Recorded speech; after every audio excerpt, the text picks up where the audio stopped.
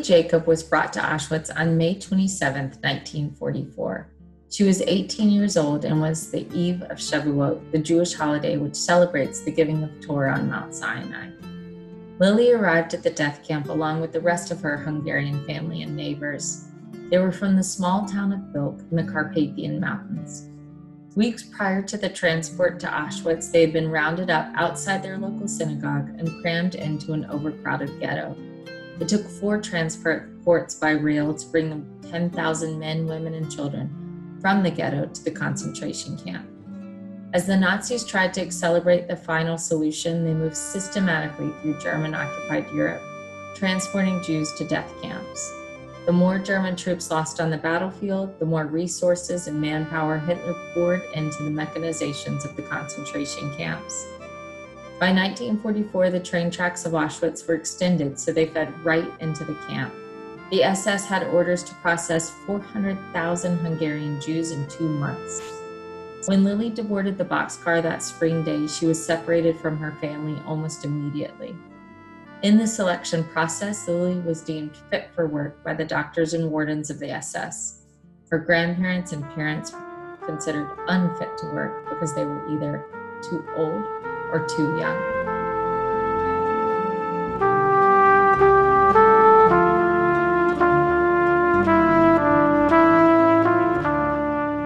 Really consisting of 40 concentration camps, Auschwitz Birkenau was the largest death camp in Nazi occupied Europe. One million people were killed there as part of the Nazis' final solution, which would eventually wipe out two thirds of all European Jewry.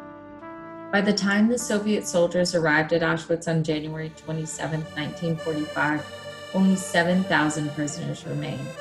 All the rest had been taken out on a death march or evacuated to smaller concentration camps farther away from the Red Army's advance.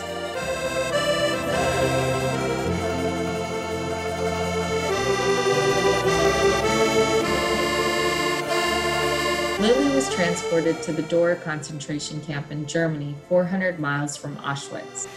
By the time the camp was liberated by US troops, Lily was sick, as were several hundred other prisoners, in addition to over a thousand corpses. Lily was placed in an abandoned SS barracks to recover from typhus. One day during her recovery, she rummaged through a cabinet looking for a blanket. She found a Nazi officer's coat and put it on. Inside the pocket was a small beige photo album. The album was 56 pages and had almost 200 photographs. She began to flip through the photos and realized that they were documentation of the very day her community arrived at Auschwitz. She saw pictures of her grandparents, the rabbi, and her brothers. She even recognized herself among a group of shaven women. There are many miracle stories that come from the Holocaust, but this one is too impossible to just be a mere coincidence. A million Jews deported at Auschwitz. The pictures in the album were from one or two train arrivals. And Lily was not even at Auschwitz when she found the album. She was 400 miles away in a different camp. Her survival would have been a miracle enough, but finding this album, giving her photos of her forever lost family, that is a story outline that bears divine thumbprints.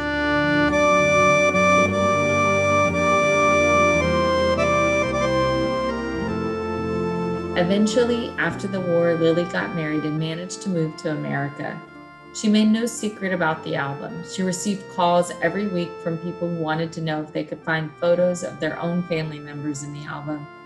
On rare occasions, when a family member could be matched with a photo, Lily gave the picture to them, knowing how much the photos of her brothers and grandparents meant to her. The album also served as evidence in Nazi war trials. During the Frankfurt Auschwitz trials in the 1960s, the album was used as evidence along with Lily's testimony and that of 180 more survivors to incriminate Nazi officials of mass murder.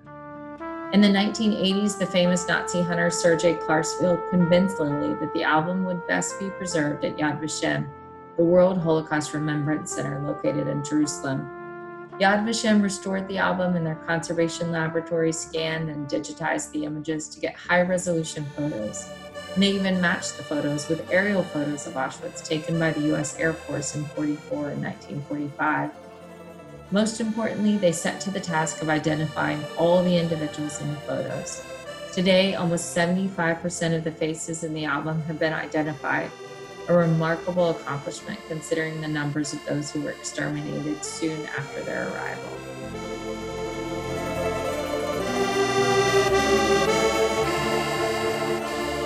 The album contains photographs taken by a Nazi guard at Auschwitz. Historians believe the guard's name was either Ernest Hoffmann or Bernard Walter.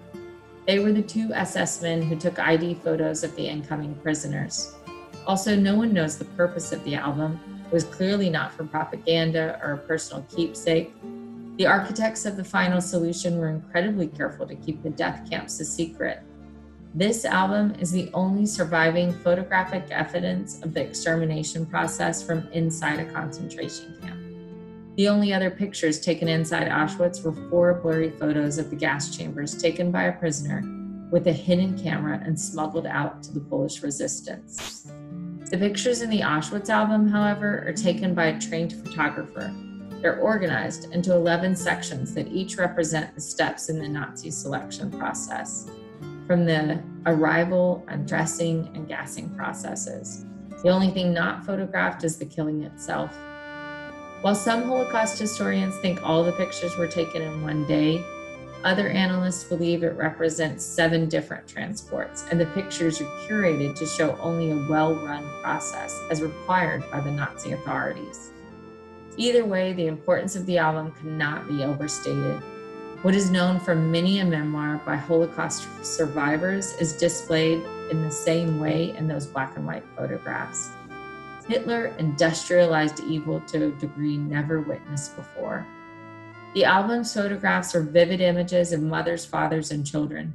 In their eyes, you can see the shame of being shaved and deloused to the exhausted shoulders of grandparents who survived the grueling cattle car rides. Their sleeves are branded with yellow stars, and many of them carry parcels of food or bedding. Some pictures show them deboarding the trains, and others they are lined up for registration and they are sorted into fit to work and unfit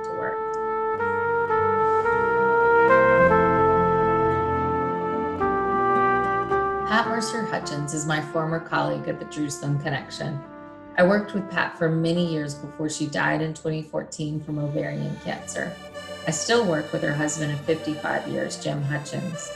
He was the president of Jerusalem Connection before he retired at 82, and I've been trying to fill his big shoes ever since. Not an easy task considering he was an Army chaplain and Major General with a Purple Heart for his acts of courage in Vietnam.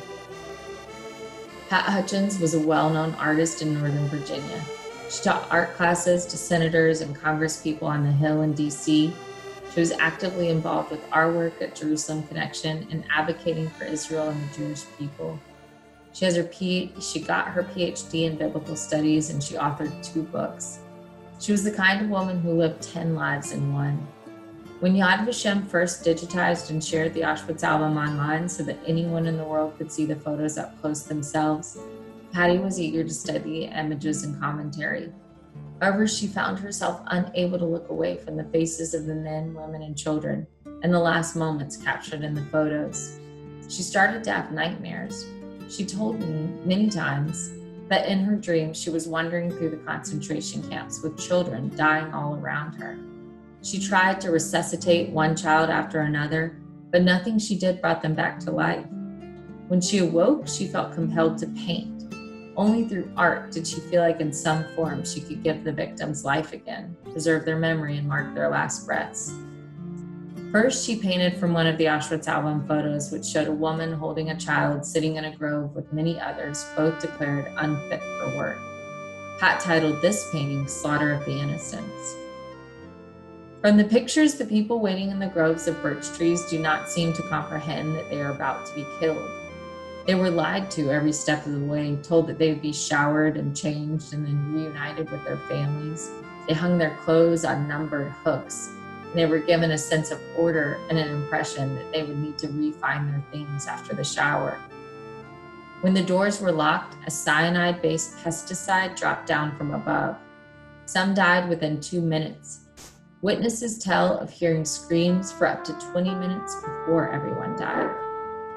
In one photo, two wealthy appearing women in fur coats stand among the other community members in the grove. They appear to be looking off into the distance towards the crematorium. Concern is registered in the eyes of all, but the youngest children. In many of the paintings, as in the photographs, smoke from the crematorium is seen rising in the background. The rising smoke is subtle in the black and white images, but Pat took artistic liberty and dramatized the smoke and pillars for the hell that we know was behind that smoke. There's nothing subtle about that smoke.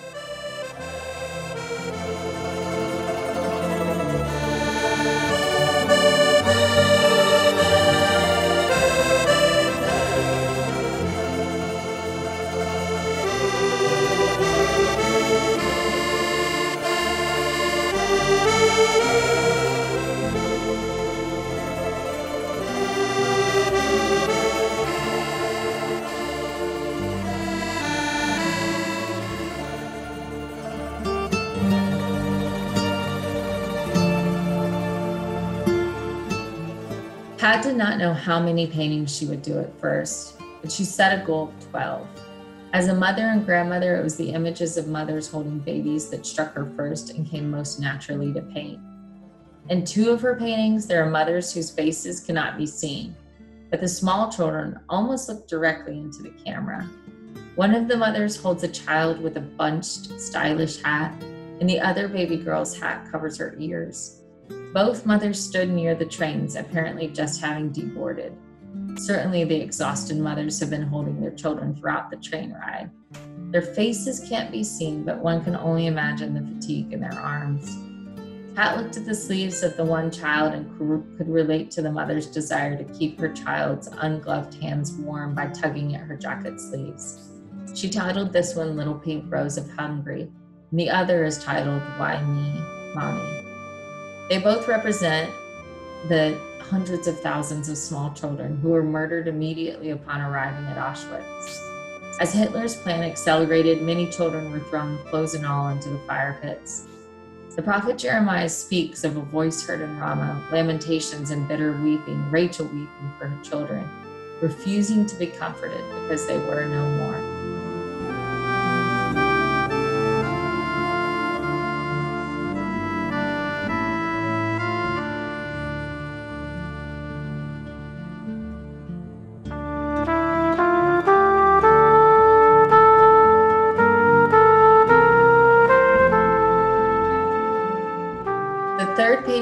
Pat did focused in on a little girl in a bonnet, eating a snack which was surely packed and rationed by her mother. Next to her is her brother, who looks down instead of at the Nazi officer holding the camera. The danger of looking any SS in the eyes was surely already drilled into the boy by that point. Pat titled this one Sophie's Choice, a nod to the book and film which portray the complete lack of choice during those dark days.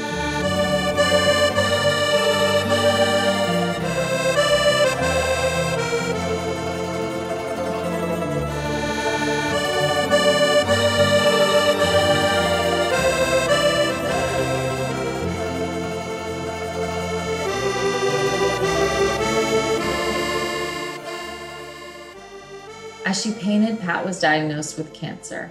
She endured three grueling years of chemotherapy, and throughout it all, she continued to paint. She painted the women who were selected as fit to work. The fit to work selectees went into real showers and they were forced to change into sack dresses and old shoes. No undergarments were given. What they brought with them was taken and heaped into huge piles, and they were forcefully separated from their husbands, fathers, and younger children. The women were deloused with lime poured over their bodies, and their hair was crudely chopped. Gold dental fillings were extracted. Just as Pat was losing her own hair during chemotherapy, she painted these newly shaven women. In the photos, like the paintings, the women hang their heads in shame or stare in shock. It is certain that their torment and shame will be exposed to even lower evils in their time at the concentration camp. One of the women is visibly pregnant.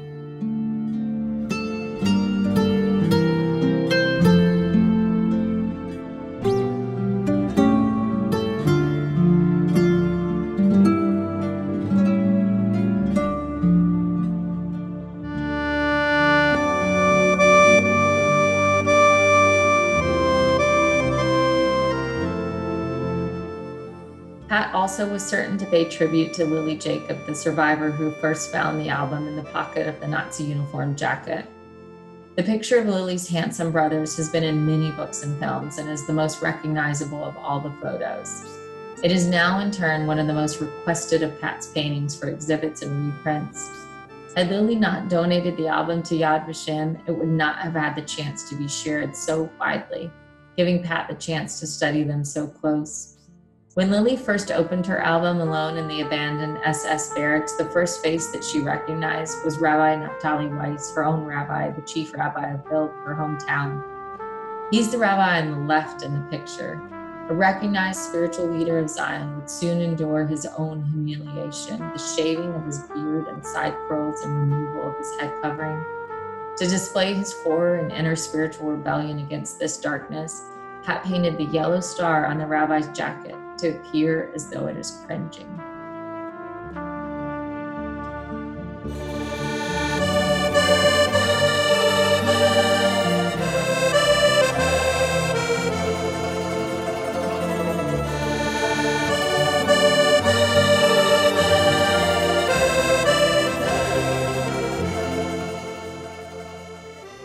Pat spent her last years commemorating the memory of victims of Auschwitz by painting them on canvas. There were times that she painted on her hands and knees, so weakened and nauseated by the treatments. Every time she thought she was done, she would feel compelled to paint one more. She called the, co- the collection the Auschwitz Album Revisited. In total, the series includes 40 oil paintings, a remarkable achievement. Jim Hutchens, Pat's husband and the founder of Jerusalem Connection, donated the originals of Pat's paintings to Liberty University in Virginia so that the Holocaust can continue to be brought before the next generation. Working together with Liberty and Yad Vashem with the encouragement of Pat's children and now Skywatch, I wanted to make a booklet that brought both Pat's paintings and the original photos together. Because I love the Jewish people and I loved Pat, I wanted to share this amazing work of art and memory. I want to thank the Christian Friends of Yad Vashem for giving Jerusalem Connection the opportunity to use high resolution copies of the original photographs that are safeguarded in the Yad Vashem archives.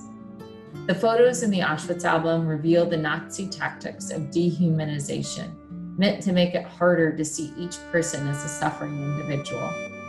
Pat's purpose in painting the victims was to zoom in, take two, three, or four individuals from the larger group photos and search for their more personal story. It was her prayer that observers would think about each man, woman, and child pictured in the album separately. That is certainly what she did in the process of creating the art. In one photo, an older man stood all by himself. His hand was slightly obscured in the photograph. So Pat asked her husband Jim to model his hand. In another photograph, a middle aged woman in black held her shawl tight around her chin and Pat used her own strong Irish hand as a model. She said she wanted to symbolically give a sister in death a hand which she could not give her in life.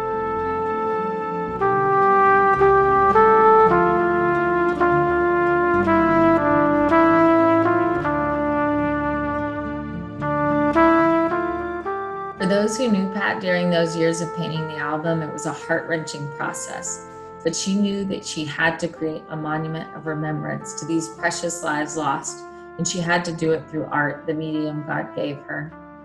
In January 2011, Regent University Library hosted the world premiere of the Auschwitz album Revisited. Later the same year, through the efforts of Pat's close friends and fellow artists Michael and Inna Rogatchi, the paintings were brought to the Krakow Jewish Cultural Festival in Poland. Giclées of the Auschwitz album Revisited are now part of the permanent collection at the Jewish Community Center at Auschwitz. In 2014, the Rogatchis also curated the Giclées to become part of the permanent exhibition at the Holocaust Museum in Ukraine. The original paintings of the Auschwitz album Revisited are now a permanent part of Liberty University's art collection.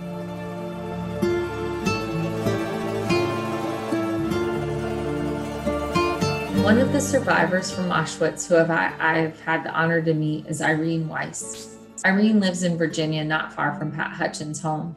She heard about the series of paintings and it was arranged for her to come see the paintings at Pat's home. One of the Auschwitz album photos is a family sitting in the birch groves. It was the very last moments of her of life for Irene's mother and her two brothers. They were likely told to wait in the grove and have a rest before further instructions.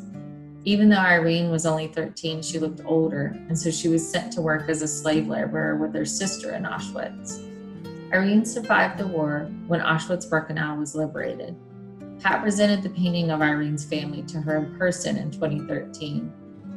Last year, I was living in the same county in Virginia as Irene, and when my eighth grade son came home telling me they were learning about the Holocaust at school in English class, I contacted the teacher to see if she'd be interested in having her students learn from a survivor. She jumped at the chance. What resulted was an assembly of hundreds of students meeting together in a high school theater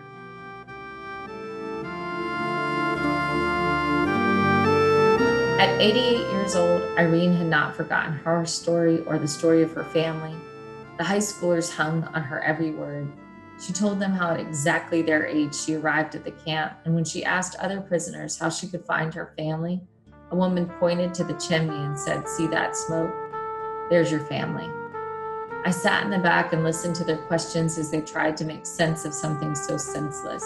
They tried to gain the lessons without the tragedy and they sought to glean wisdom from this woman's triumph. Today, there are those who brazenly claim, despite the Auschwitz album and other historical, irrefutable evidence, that the Holocaust is a myth or a lie. Those of us who are still alive must speak for the ones who cannot. Anti Semitism is again rearing its ugly head worldwide.